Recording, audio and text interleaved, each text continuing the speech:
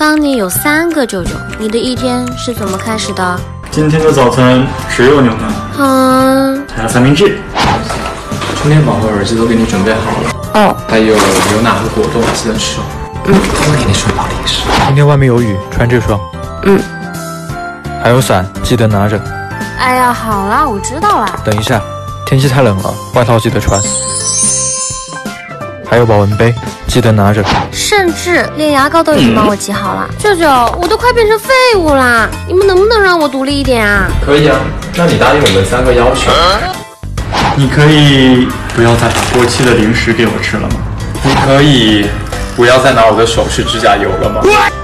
你可以不要在我头上夹这么幼稚的发夹了吗？哎呦我的妈！